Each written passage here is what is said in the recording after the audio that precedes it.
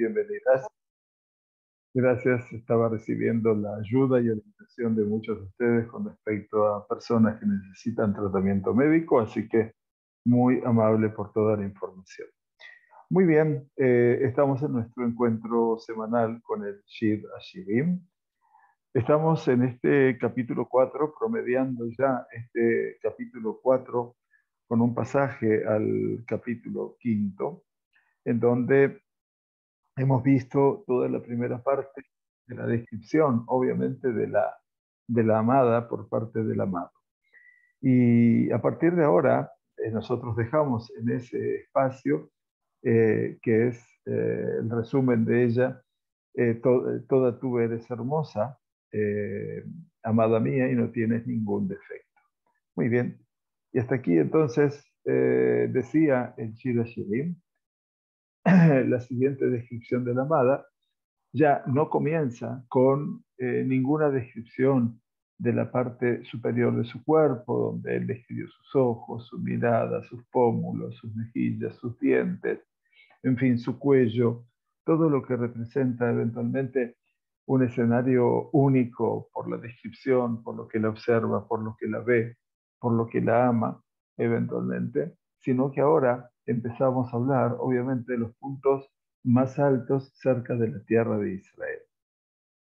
Y así entonces le dice, ti mi Lebanón Kalá, ti mi Lebanón Captavoy, ven conmigo desde el Líbano, novia mía, conmigo desde el Líbano has de venir.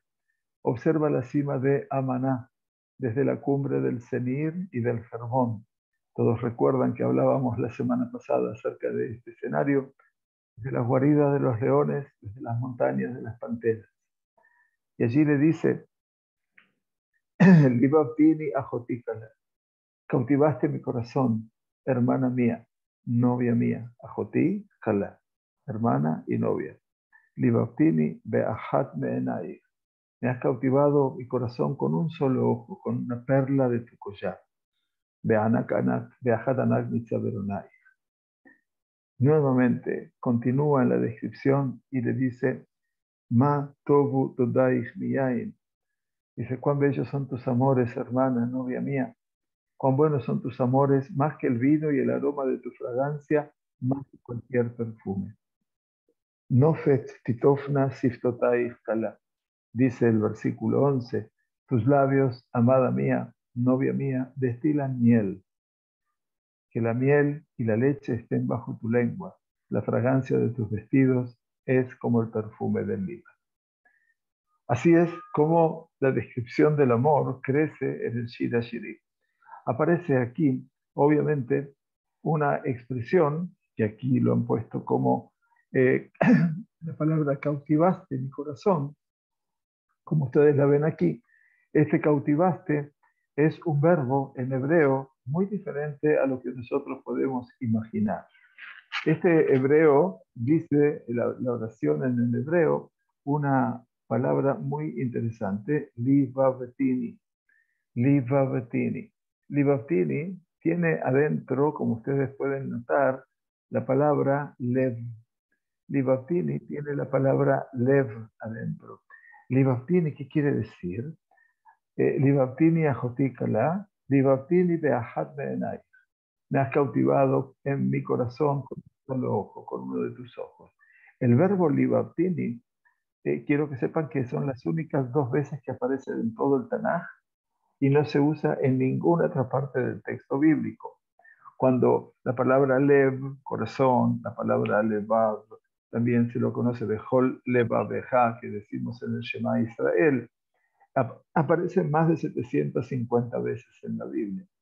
Esto puede sugerir que el Dod, el amado, como ustedes saben, está tan abrumado por sus emociones, por esa amada, que ahora que la sigue descubriendo o redescubriendo, se siente obligado, diríamos, a, a inventar una nueva palabra para expresarse el lenguaje existente simplemente no incluye un lenguaje eh, suficientemente rico, digamos así, para expresar completamente su mundo emocional interno. Además, algunos ven a Livartini como una fusión de lev, corazón, y lahav, que es una llama de fuego.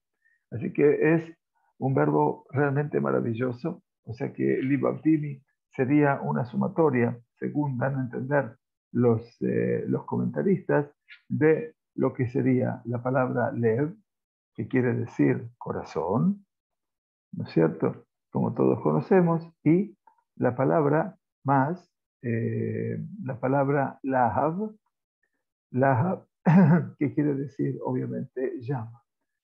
Entonces hay un corazón que arde, obviamente, y que es realmente fantástico desde esa perspectiva.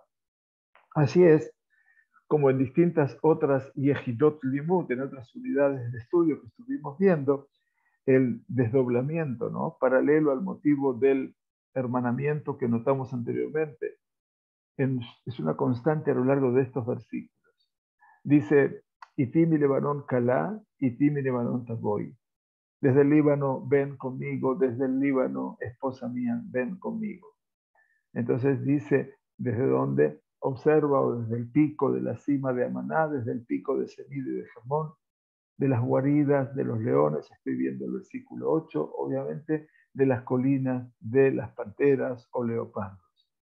Libabtini, Ajotikala, has conquistado mi corazón, esposa mía, has conquistado mi corazón, con la mirada de uno de tus ojos, con un, una perla tal vez de tu collar. Cuán dulce es tu amor, le dice, cuán bellos son tus amores, cuán dulce, no jalá. Cuanto más delicioso el amor que el vino, vuestros ungüentos más fragantes que cualquier especie. Todo esto, obviamente, no deja de expresar emociones, pero por sobre todo también parecen sensaciones que están no solamente atrayendo los ojos, sino también toda la sensación de la percepción del otro.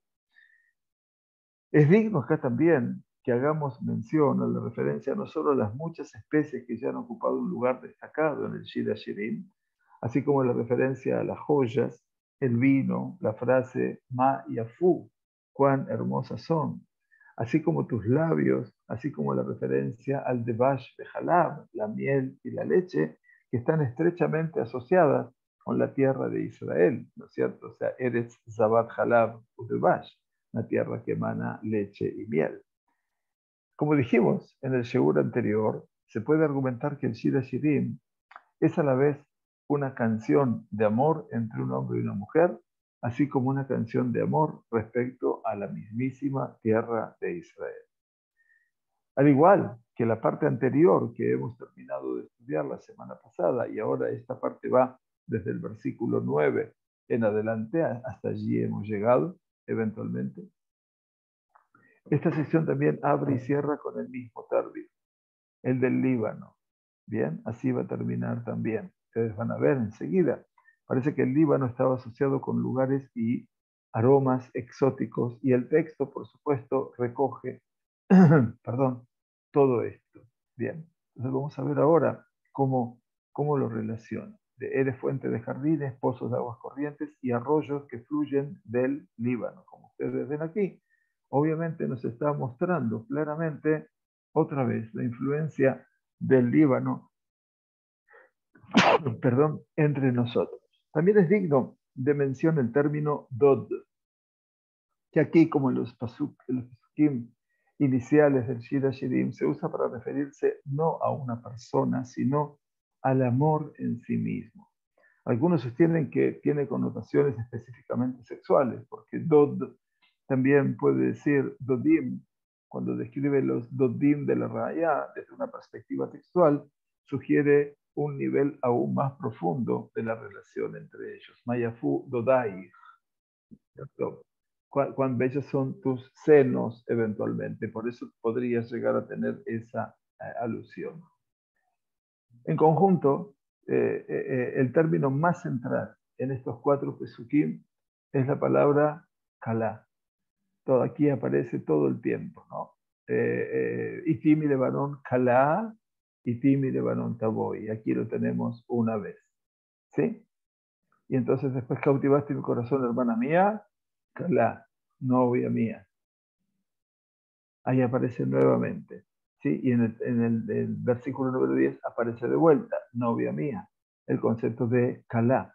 Tus labios, nofes, titovna sistotaich, kalá, novia mía. Ustedes se dan cuenta cómo, obviamente, todo esto regresa en estos cuatro versículos, ¿no es cierto? Y entonces esto nos brinda eh, un apoyo, más apoyo todavía, a la hipótesis de que estos Tesukim debían ser cantados por un novio para su amada durante o después de su boda. Esta similitud, junto con el motivo paralelo de comenzar en el punto más alto y avanzar hacia abajo, sugiere que el comienzo del capítulo 4 y la continuidad van de la mano. Si ustedes recuerdan, el comienzo, he aquí que eres hermosa, amada mía, eres hermosa, ojos de paloma detrás de tu velo, tus cabellos, estamos describiendo, ¿verdad? Para que recuerden como un rebaño de cabras que bajan del monte Gilat. Tus dientes, seguimos descendiendo, como un hato de ovejas esquiladas, todas idénticas, que suben del lavadero sin que falte ninguna. Tus labios, bien, ven ustedes, son como un hilo de seda y tu boca es bonita. Como una granada es tu mejilla. Todo esto forma parte de esta descripción detrás de tu vuelo. Después tu cuello es como la torre de David, construidas donde penden mil escudos, etc. Tus pechos son como gacelas, eventualmente mellizas, que pastorean entre las azucenas. Bien, entonces ustedes se dieron cuenta que la descripción final decía, toda tú eres hermosa. Y después vienen del 8 a 11 que acabamos de ver recién, que prácticamente van de la mano. Por lo tanto, ahora vamos a ver cómo todo esto continúa dándonos un escenario tan, tan particular. Bueno, bienvenidos entonces otra vez ahora a empezar con el, el versículo 12. El versículo 12 nos muestra una realidad un tanto diferente, ¿no es cierto? O sea, vamos a llegar aquí desde estos últimos versículos del capítulo 4 como una unidad, para que me entiendan el concepto de la unidad, hasta el comienzo del capítulo 5, que es el versículo inicial. Y forman, como nosotros les estamos tratando de explicar, unidades literarias.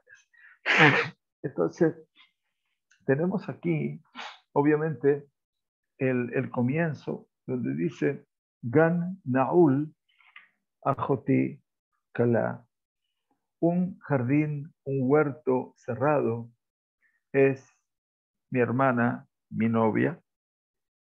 Gal Naul Ma'ayan Hatum. Una gal, una fuente cerrada, Hatum. Ma'ayan, un manantial cegado, Hatum. Así comienza nuestro paso. Entonces, ¿qué es lo que, eh, que nos dice este versículo? Eh, ante todo, el concepto de gan, un jardín, naul, que está como clausurado. Naul viene de cerrar, ¿no es cierto? Linol es cerrar. Eh, ajotícala, ahí está la hermana, la novia. Gal naul, mayan. Eh, eh, ¿Por qué lo, proponemos tanto en hebreo? Porque el idioma hebreo de este pasú demuestra entendemos una serie de facetas de la poesía bíblica en general y del Shir Ashirim en particular. Primero, como sucede a lo largo de todo el Shir Ashirim, nos encontramos con el fenómeno del desdoblamiento poético, con la segunda cláusula haciéndose eco y agregando una nueva dimensión a la primera. Desdoblamiento. Gan Naul Ajotikala, Gal Naul Mayan Hatu. O sea, el desdoblamiento es eso, una parte y un hemistiquio y otro hemistiquio. Cada uno vuelve como agregando una nueva dimensión a la primera parte. La cláusula de apertura la describe a la amada como un jardín cerrado, mientras que la segunda mitad del pasuk se hace eco de la misma estructura y temas básicos, la llama tanto una fuente cerrada, gal naul, ma'ayan hatum, un manantial sellado. ¿Entienden ustedes? Esa sería la perspectiva de analizarlo. Segundo, hay una eh, extensa eh, aliteración en estos versículos, al igual que en los primeros versículos del libro. Shir Ashirim Asher Lishlomo y Shakeni Minishikot Piu. Quiere decir, Shira, Shirim, Asher, Lishlomo, Ishakeni, Mine, Shikot, Piu, la repetición de las letras Nun, Kaf, Lamet y Mem, Gal, eh, Gan, Naul, Ajoti, Kala, Gal, Naul, Mayan, Hatum, le da una repetitividad literaria a este versículo. Al mismo tiempo, uno ve que el lenguaje en el hebreo parece haber sido elegido específicamente para ralentizar al lector. Por mucho que separemos entre letras idénticas en Keriyat Shema, el lector promedio va a leer Gan Naul. Se dieron cuenta que Gan termina con N y Naul empieza con N. Gan Naul. Es mucho, por ejemplo, que tenemos que ver en el Shema Israel. de Natati Esev Besadeja. Termina, el versículo dice, y habré de dar pasturas. Esev, y sigue Besadeja, en tu campo. Hay que saber diferenciar entre Esev Besadeja, porque si no puedo decir las palabras eh, al igual. Natati Esev Besadeja. Entonces parece ser que la palabra Bet, la letra Bet, juega para un lado y para el otro. No, tenemos que tomar en cuenta esta forma de que, aunque querramos separar Gan Naul, lentamente eh, eh, es como se repite la Nun, Gan Naul, y hay que tener mucho cuidado con esto. La letra Haf generalmente se lee lentamente, y su duplicación en la tercera y cuarta palabra del Pasuk. ¿Cuál es la palabra? Obviamente, Ajoti, Kala, Gal, Naul, Mayan, Hatu. ¿Qué es lo que dice? Entonces dice, la letra Jav obviamente refuerza más la tendencia. Entre Gan Naul y Gal Naul hay mucha parecida, hay mucho parecido. Seguramente eso puede desconcertar a la persona que está leyendo y va a reducir la velocidad de la lectura. Y la Ain en Ma'ayan Hatum también desacelerará, desacelerará también la frase final. O sea, hay un intento en todo esto, para que entiendan ustedes, que la búsqueda de, un sonido que repiquetea, obviamente, y entonces yo tengo que prestar más atención. En el hebreo, por supuesto, gan naul, ajoti jalá, gal naul, otra vez se repite, y después el ma'ayan también viene a detener la palabra, eh, hatum. Y esto es, como explican muchos de los comentaristas, entendidos en todo este escenario de la rima, de la poesía. Justamente venimos de, participar en Shabbat Kodesh de Shiratayam, de la primera poesía, del primer canto que canta el pueblo judío al Todopoderoso, Shiratayam. Y entonces eso también es importante. Y entender entonces que eh, eh, eh, este es un dispositivo poético intencional que tiene la intención de reforzar el significado del texto, en el cual el amado, el Dod, sugiere que la Raya, que la amada, de alguna manera está cerrada para él. Mayan Hatum es una fuente sellada, con el punto de que al final de la, de la canción ella se habrá abierto habrá abierto sus puertas eventualmente, sus fuentes, solo para él. Como en todo Shira Shirim, la y la poesía bíblica, la forma y el contenido están estrechamente entrelazados. Si hay algo más, vale la pena señalar también que al igual que en los pesuquín que preceden inmediatamente a esta sección, la recurrencia de la palabra kalá, otra vez, la novia, que aparece todo el tiempo, también aquí aparece un jardín cerrado, Gan Naul Ajoti Kalá. Hermana mía, mi novia. Entonces, todo ese concepto de la Kalá refuerza la sugerencia de que todo este capítulo pretende ser una canción de amor o una serie de canciones de amor de un novio para su amada. Y es interesante que muchos de los comentaristas, obviamente, se basan en esa eh, entrega singular de lo que representa el Eet Kelulot, el tiempo del desposorio. Eh, Kelulot viene de la palabra Kalá, ¿no es cierto? porque la amada, la Kalá, la novia, eh, son las letras, como les explicamos a las novias, de que la Kalá tiene tres letras, Kaf, Lamet y Hei. Entonces, ¿qué es la Kalá? Si yo pongo la Hei adelante, va a ser que ella es ha-kol.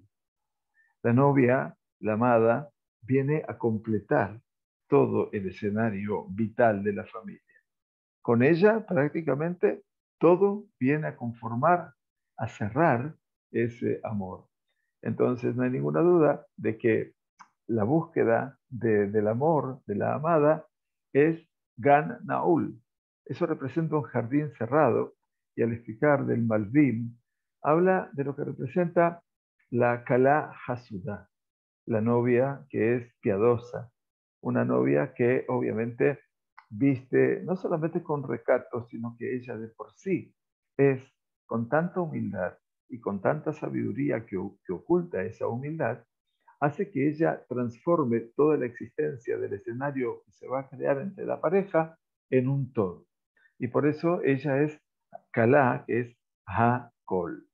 Y esa fuente cerrada va a abrirse y va a dar sus mejores aguas eventualmente, su mejor verterse, todo lo que significa el agua como condición de, eh, plenitud. ¿Y qué dice el versículo 13? Versículo 13 dice, Shelahai pardes rimonim. Shelahai, en principio, Shelahai son canaletas, canaletas de agua, como dice aquí, pero obviamente hay una proyección, ¿no es cierto? Entonces, Shelahai eh, eh, se entiende también, se puede entender que Shelahai, como explican aquí los sabios del Da'at Mikra, dice, pueden ser o piscinas de agua o conductos de agua, eventualmente canaletas, ¿no es cierto? Nada más que la, dice que aquí se la ejemplifica a la calá, a la novia, como si fuera una breja, una piscina, una alberca, una pileta, como le decimos nosotros en porteño. Esa piscina es una breja que recibe agua en plenitud. Y entonces, Beta Shelahim, justamente en la Mishnah, se refiere a un campo, ¿no es cierto?, que es regado por los seres humanos y no por agua de riego o por agua, eh, sí, pero agua de riego sí, de seres humanos, pero no por agua de lluvia, eventualmente. Y entonces, ese sería el primero. Pero, a su vez, el Shelahaich podría traducirse como tus extremidades, aquello que representa una proyección de la persona, los miembros de la persona. Shelahaich pardes rimonim, de los plantíos de granados, eh, imperi megadim, con frutas escogidas, kefarim, im nevadim, de ciprios y de nardos. Aquí ustedes tienen entonces todo lo que representa la descripción de la madre. Entonces vamos a ver qué significa esto de los miembros tuyos, Shelahai, si podríamos entender esa traducción diferente, no solamente de las canaletas, del agua, de la pileta, de la piscina, de la alberca, son un huerto de granados y todos los frutos deliciosos de, eh, de ciprios, como dice aquí, de hena o de nardo. Shelahai, entonces, vuelvo a repetir, parecería que podría traducirse como tus extremidades, pero obviamente eh, la mayoría de nuestros comentaristas, como les acabo de decir, siguen el acuerdo de la Mishnah, en el Tratado de Moed Katan, que es como un campo que depende del riego externo para el sustento de sus cultivos. Eso se llama Beit Shelahim. La diferencia en la Mishnah, el otro es el Beit Abal. El Beit Abal significa aquellos campos que reciben la lluvia que cae desde la montaña y que lo riega, obviamente.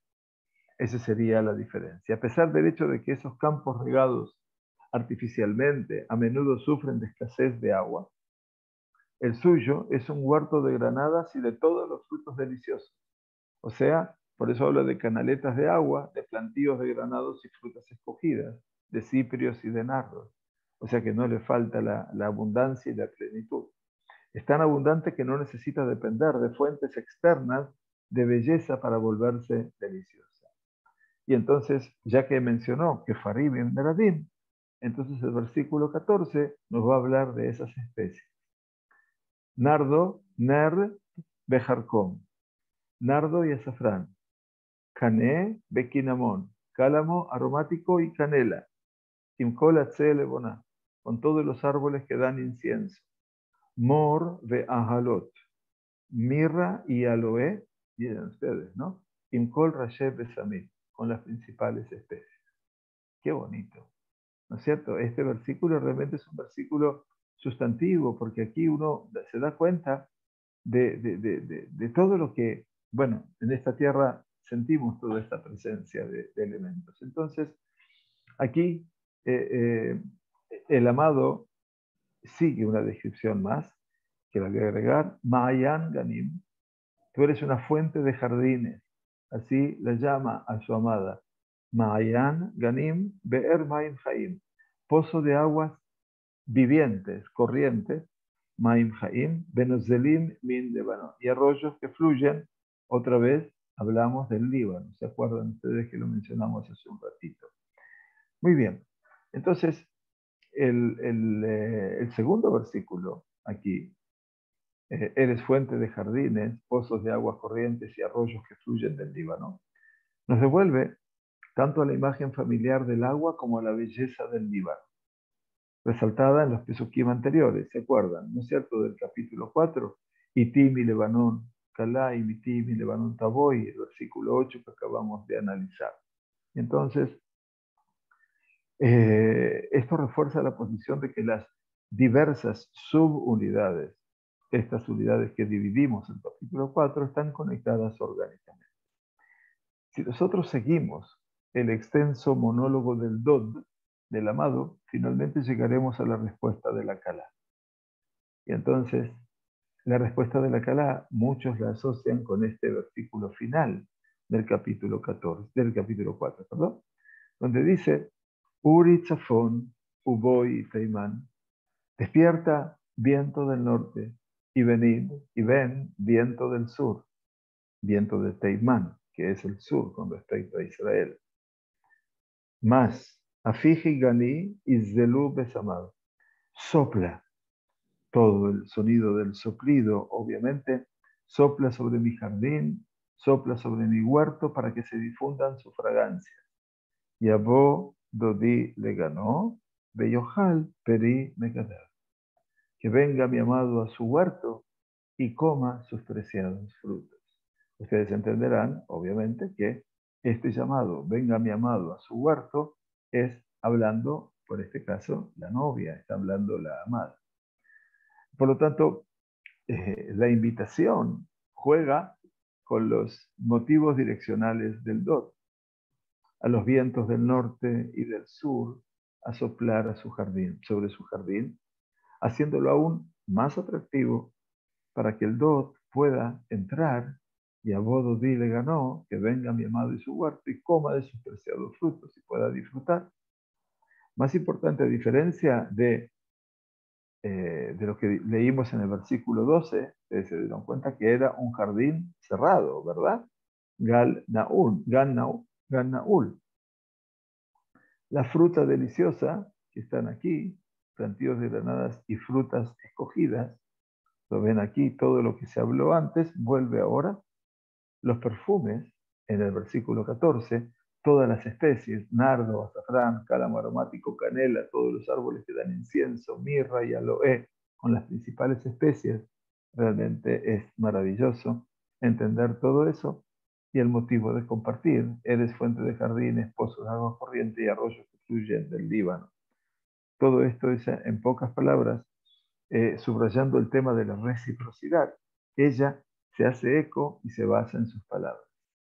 Y por lo tanto, el, después de su respuesta, el, Dod también va a, eh, le va a contestar.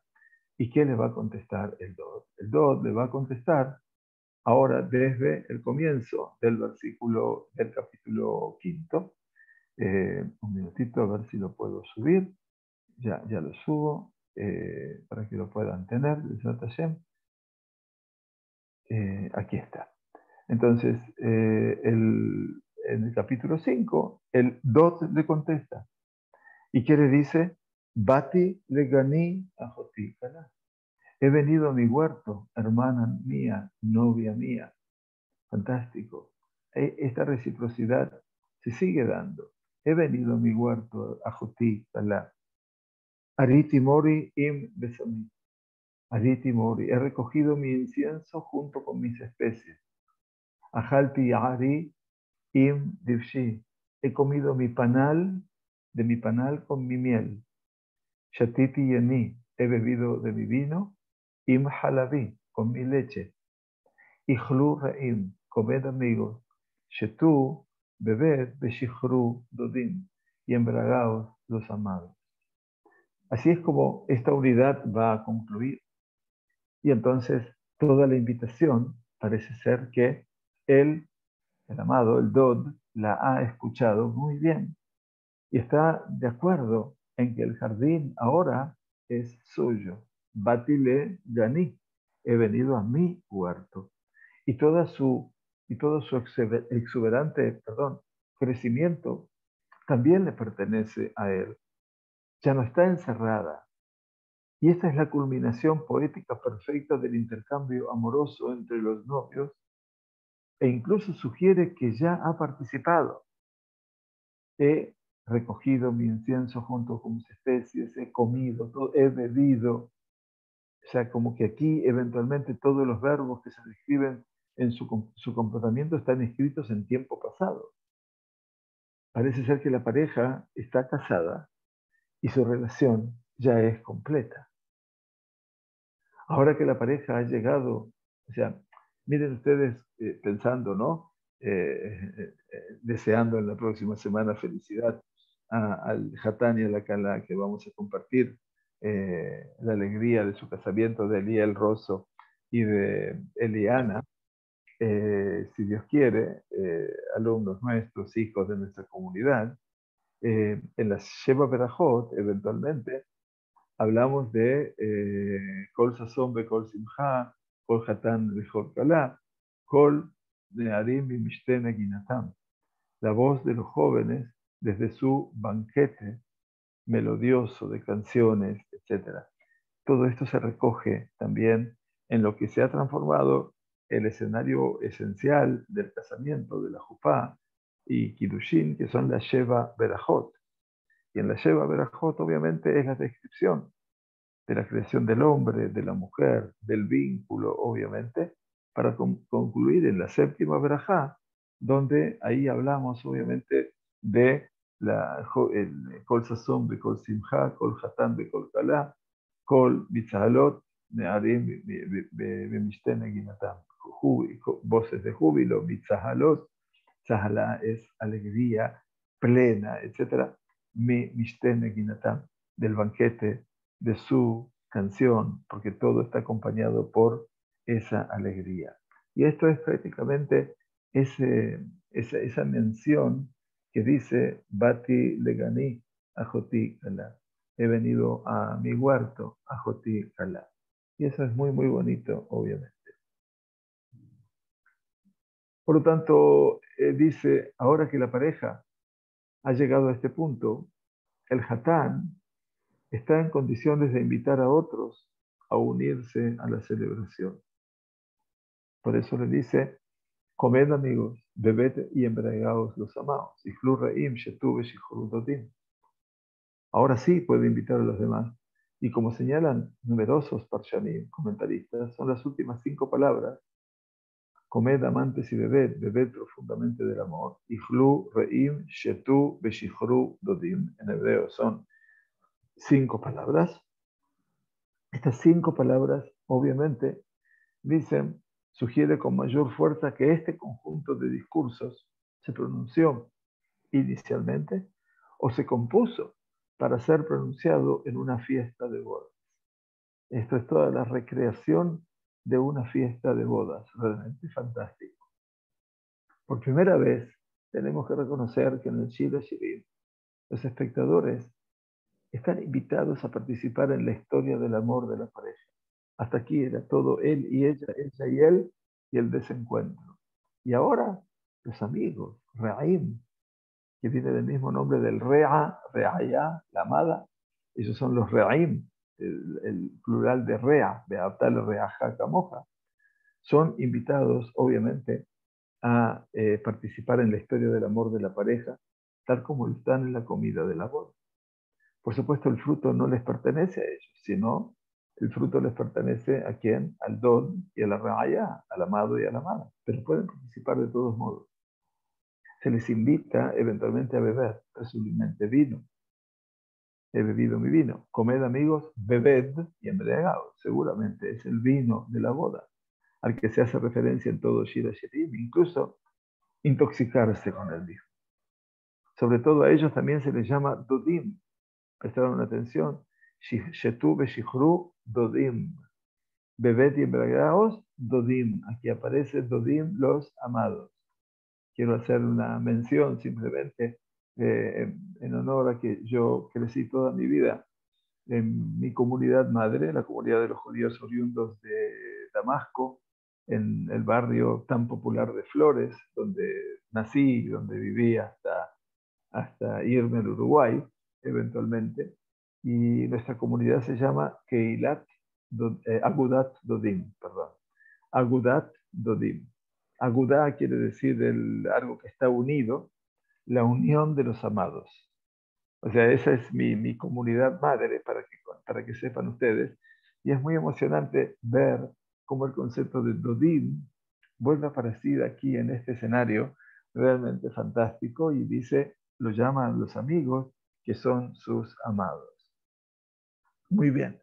Entonces, eh, eh, Dodim es la misma palabra que usa no solo con el nombre, sino con el amor, eh, que es Ahabat Dodim, el amor de amados, que ahora une inextricablemente a la pareja. Solo un pasuk antes, ella había respondido al amado a venir a su jardín, ¿sí? Y a Bododí le ganó, Beyojal Perimegadaba, habíamos leído el pasuk 16 del capítulo 4 y a Bododí le ganó, Biojal Perimegadá. Ella invitaba a venir a su jardín y disfrutar de sus deliciosos frutos. Ahora, pero solo ahora, todos los Dodim, todos los amados, están invitados a participar también de este escenario. Por lo tanto, este, este momento tan fundacional, tan hermoso, donde el Shira Shirim nos ofrece ese encuentro, debemos entonces relacionarlos con eh, todos estos conceptos que resumimos ahora eh, con el Da'at Mikra, con nuestro libro de comentarios sobre el Shira Shirim. Nos dicen los comentaristas, los sabios, dicen, eh, podemos entender entonces que el capítulo 4 y el primer versículo del capítulo 5 es una unidad literaria o una perashá, una sección, ¿no es cierto? Y su tema central son las palabras de reconciliación, de amor del novio a su amada en el momento de la jupa. Este es el resumen de este capítulo y de esta unidad literaria. Después de las palabras del hatán, del novio hacia la amada, Mitratzalo, donde la amada acepta entonces la palabra de su amado y le dice, y a Bodo dile ganó, que venga mi amado a su jardín, y que coma los frutos más sutiles, más eh, ricos, más eh, sabrosos. La perashá termina con un llamado del novio a todos sus invitados para participar de un banquete, para comer y para beber. Y ya, obviamente, lo explicó todo este tema con el, método de Rabbi Yohanan, en donde eh, decía, Bezot Torat Seba Hashenamim. Dice, eh, cuando explica el libro de Baikra, en, Baikra Rabá, en, en, el Midrash, dice, esta es la Torah, esta es la Torah, quiere decir la ley del Zeba Hashelamim, del sacrificio de Shelamim, pacíficos, era llamado así, plural de Shalom, Limadetja Torah, Torah de Torah de Limadetja Torah de La Torah te viene a enseñar aquí normas básicas de conducta. She'en Hatan Nichnas la que el novio no puede ingresar a la jupá, él en quien no tiene dos reshut sino que la novia le dé su permiso para entrar a, esa, a, ese, a, la jupa. por eso dice este, este capítulo, Yabó Dodi le ganó, que venga mi amado a su jardín y que coma del fruto sabroso. Y después, recién después el novio le dice, siguiendo la, el método de Rabbi Hanan en el Midrash de Baikra Rabá, Bati le ganí a he venido a mi huerto, amada mía. Entonces, tres canciones resumen finalmente nuestros comentaristas, le canta el amado a la amada. Y estos tres cánticos son reconocidos como cánticos en sí mismos por su estructura. El, primer shir, el primer cántico empieza diciendo Inajefa, tú eres toda hermosa, y termina diciendo Kulajefa, tú eres toda bella. El segundo cántico empieza diciendo Itib y Lebanón, hoy lo vimos, conmigo desde el Líbano, y termina Kerreach Lebanón, como el aroma del Líbano. El tercer shir empieza Gan Naul, el jardín cerrado, Maayan Hatum, la fuente sellada, y termina diciendo Maayan Ganim, o sea, como una fuente de Ganim. Por lo tanto, la, la, palabra que termina el tercer cántico, que es la palabra Lebanón, es la misma palabra que termina el segundo canto. Y los tres están ordenados en forma escalonada, explica nuestro comentarista, estoy citándolo, y en cada shir, en cada cántico, sentimos que la aproximación, la, cercanía, se va dando cada vez más y más. Entonces, en el primer cántico, el amado eh, e, exaltaba la belleza, la belleza de su rostro, de su cuello, de su pecho. Luego empezaba a alabar sus colores y la imaginaba como la, la, la blancura de, los, de las cabritas, el, el, blanco de las ovejas, el rojo de la seda y el, el, el, rosado entremezclado con el blanco de lo que representaba sus sienes. Y el Shir Rishon terminaba diciendo el Ejli, quiere decir me iré, para mí, como dejándonos una sensación de, duda. En el segundo Shir ya en el segundo cántico los sentimientos del amado se fortalecen mucho más. La llama novia y aparecía novia todo el tiempo, ¿no es cierto? La primera vez que se la escucha en el versículo 8 y vuelve desde aquí en cada versículo de este segundo cántico. Lo vimos, cuatro veces aparece en todo momento. Muy interesante. Y los tres primeros pesukim, versículos, están hechos como una petijajos como una apertura que retorna, que vuelve. Y Timi Lebanon Calá, y Timi Lebanon Taboy. Conmigo del Líbano mi novia, conmigo del obra habrás de venir. Libautín y Ajoticalá, Libautín. Me has despertado el amor de mi corazón. Mayafu, Matobu. Cuán bellas, cuán buenas. El tercer cántico ya está unido al segundo cántico por medio de, que concluye con la palabra Lebanón, y a partir del concepto Ajoticalá, hermana mía, novia mía, y con la Petijá Joseret y con ese retorno que es Gan Naul, Gal Naul. Un jardín cerrado, una, manantial eh, cerrado. Eh, la amada, por supuesto, le responde en un lenguaje también eh, con, preparado con semejantes imágenes y que hablan de un gan de samim, de un jardín de aroma aromático y frutos de excelencia. Solamente que con respecto a, eh, la, novia, la amada, con respecto a los cánticos extensos del amado, ella es muy, muy, muy escueta y, eso habla, obviamente, eh, todos ellos explican, como yo también entiendo, de lo que es su su recato, su modestia. Tampoco no se dirige a ella, a él en tiempo presente, tampoco lo alaba en absoluto, sino que habla con él en tercera persona. Y a di, que venga el amado.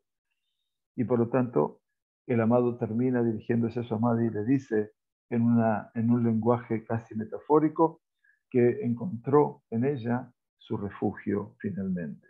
Y después de eso sale el, eh, el amado hacia los invitados para que vengan a su fiesta. De acuerdo con el ejemplo, como siempre estudiamos, entonces, toda esta alabanza que hay en el Shir, en, el, canto este que acabamos de estudiar, es una alabanza que alaba el Kadosh Baruj a la congregación de Israel con sus atributos tan excelsos y con sus acciones tan manifiestas y tan buenas. Y aquí hay una promesa, dicen los jajamim, dicen los comentaristas, de un kibbutz galviot, de una reunificación de todas las diásporas y un retorno a la tierra. Itimi Lebanón Calá, Lebanón Tapoy. El hecho de mencionar al Libanón, que es por fuera de la tierra de Israel, implica el retorno del pueblo judío. Y a partir de aquí la alabanza a las hijas de Israel, humildes, recatadas, que cuidan obviamente cada aspecto, de la pureza, también personal y familiar, y su tevilá, Galna Ula Jotikalá, Galna Ulma Hatum. Hablan de aguas, aguas profundas y puras, y allí está la Tajará, la tevilá, la inmersión en esas aguas, y por eso hablan de Mayan Galim, de fuentes, de jardines, de aguas vivientes, y Nuzlim de Lebanon, que fluyen desde el Líbano.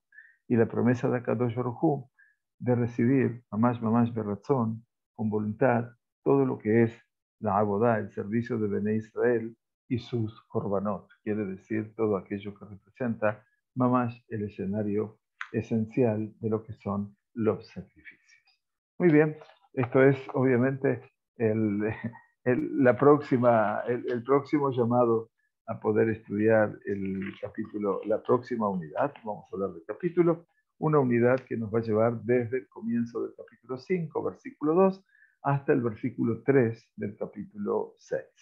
Besrat Hashem.